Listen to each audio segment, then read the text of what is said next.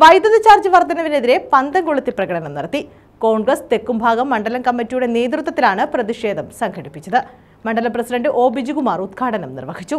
വൈദ്യുതി ചാർജ് വർധനവിനെതിരെ കോൺഗ്രസ് തെക്കുംഭാഗം മണ്ഡലം കമ്മിറ്റിയുടെ നേതൃത്വത്തിലാണ് പന്തം കൊളുത്തി പ്രകടനം നടത്തിയത്. മണ്ഡലം പ്രസിഡന്റ് ഒ. ബിജുകുമാർ ഉദ്ഘാടനം നിർവഹിച്ചു. Prabhakaran Pillai D. K. Anilkumar Sajumon Basil Xavier Surendran Pillai Suresh Kalathivila Meena Baby Manju Thara Gracy Madhu Puthumana Manu Arun Thulasi Shyamkumar Vishnu G. S. തുടങ്ങിയവർ നേതൃത്വം നൽകി. News bureau Chavara.